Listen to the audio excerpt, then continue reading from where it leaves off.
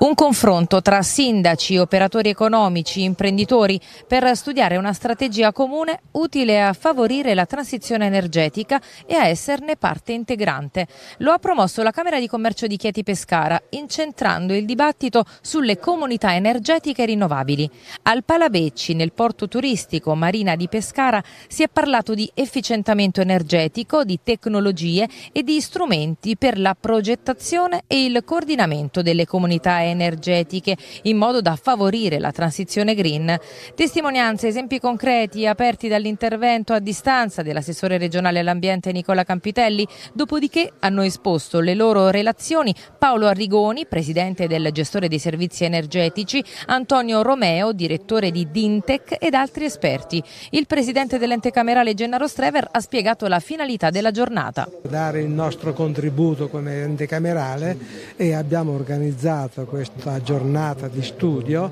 confrontando a partire dal GSE,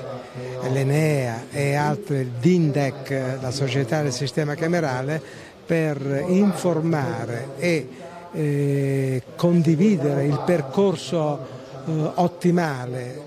se non quello giusto,